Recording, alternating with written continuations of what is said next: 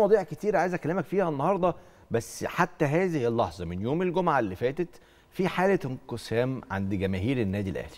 هو موسيماني أدار مباراة الرجاء بشكل جيد ولا أدارها بشكل سيء؟ هل موسيماني زي مرموز في النادي الأهلي قالوا إنه ممكن يكون مدرب لا يليق بالنادي الأهلي رغم كل الإنجازات العديدة اللي عملها ولا هو مدرب ناجح ويليق بالنادي الأهلي ويستحق الاستمرار مع النادي الأهلي؟ هذه حالة الجدل اللي موجودة على ال social media تحديدا. ومن بعض كمان نجوم ورموز نادي آه الأهلي. رأيك فيها إيه؟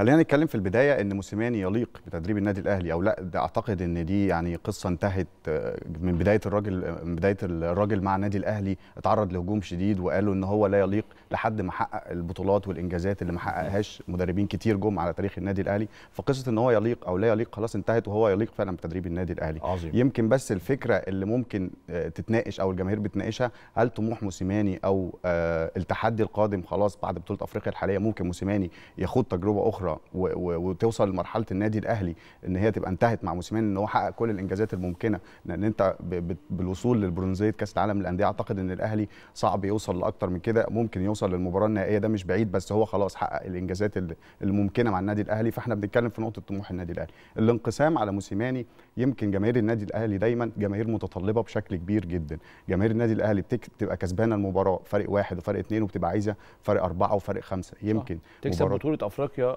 المرتين متتاليتين وما يبقاش كفاية بالنسبة لك. أنا عايزك تكسبها ثلاثة وأربعة وخمسة. طبعا ولو لعبت مباراة واحدة بأداء مهتز أو أداء يمكن دفعت شوية لبعض الدقائق. ده ما بيرضيش جماهير النادي الأهلي. صح. لأن جماهير النادي الأهلي شبه جماهير برشلونة شوية في, في أسبانيا. هي يمكن كان رونالد كومان آه ممكن يحقق نتائج لكن الأداء غير جيد. فكان بيبقى بيتعرض لهجوم كبير لحد ما ما اتغير رونالد كومان.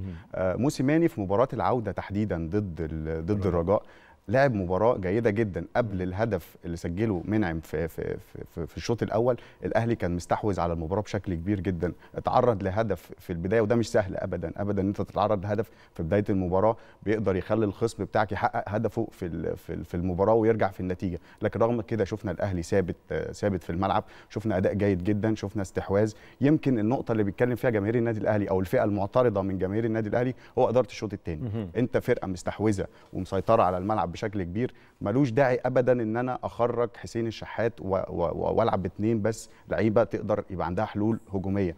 ده إدى انطباع كبير جدا عند رشيد الطوسي ولاعيبه الرجاء إن الأهلي خلاص متراجع دفاعيا.